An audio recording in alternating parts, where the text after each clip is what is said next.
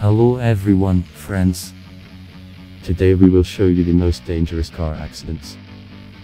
Accidents are a very popular phenomenon in our time. Most accidents are caused by drivers who are under the influence of alcohol.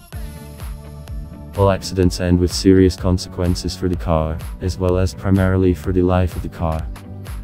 Also, most accidents are caused by pedestrian error. When you speed up in a car, remember you are waiting at home.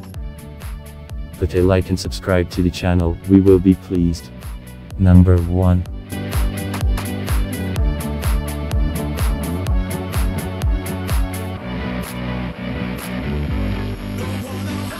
Number 2.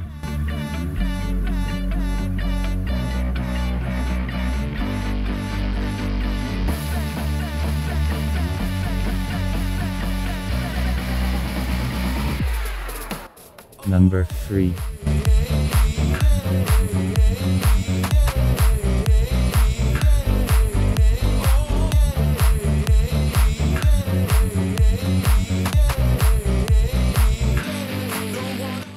Number 4.